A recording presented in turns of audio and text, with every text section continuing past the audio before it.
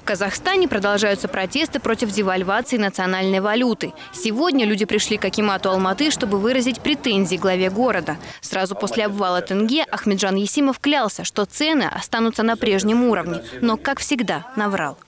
Пусть выходит сюда. Он обещал, подождите, он обещал вчера, что цены останутся на прежнем уровне.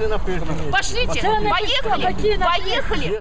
По традиции, трусливый градоначальник Есимов к людям так и не вышел. Отдуваться за него пришлось руководителю департамента внутренней политики. Нет, а почему мы сегодня? Опять мы придем и опять. Пусть сегодня, либо мы сейчас весь город будем сюда тащить. Я разве могу назад сидеть? Я передам. Я Но активисты не думали расходиться. Слишком часто их кормили пустыми обещаниями. Они твердо решили заставить чиновников рассмотреть их требования. Через некоторое время из здания вышел очередной гонец. На этот раз им оказался заместитель Есимова Ербол Шарманов.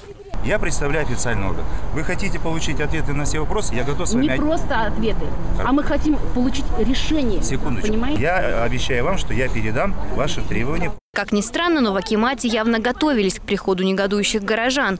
Полицейских для охраны местной мэрии согнали больше, чем пришло людей. Не иначе, как опасались штурма и захвата здания, и в частности, самого Исимова. Так и не дождавшись появления хозяина города, активисты вручили петицию его заму.